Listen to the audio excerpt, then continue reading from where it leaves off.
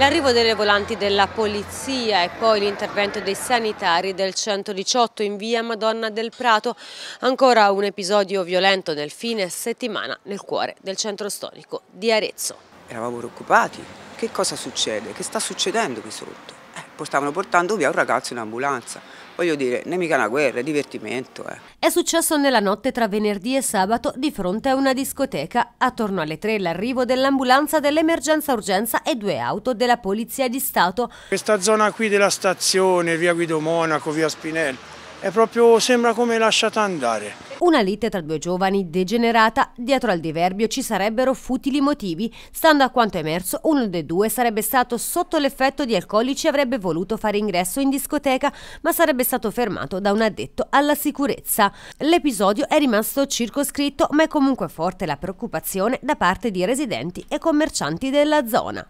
l'ennesima scazzottata, sangue, cose del genere.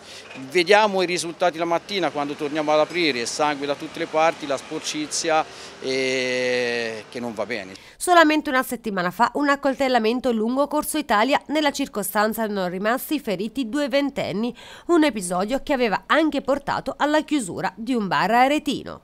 Certo non abbiamo la bacchetta magica, ma la prevenzione è importante, ma insieme alla prevenzione ci vogliono anche i controlli. Io non voglio colpevolizzare nessuno, per carità, però qualcuno le responsabilità se le deve prendere.